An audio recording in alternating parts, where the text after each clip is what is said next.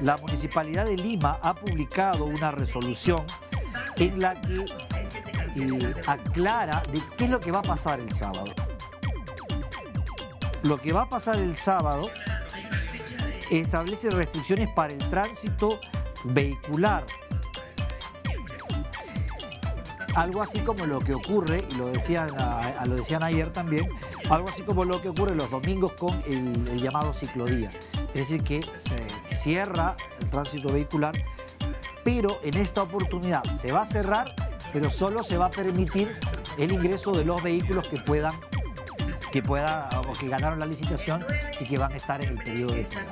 Ese es un poco el matiz que parece que es una precisión administrativa importante para que los transportistas que están en contra no digan que no se les permite eh, trabajar ese día.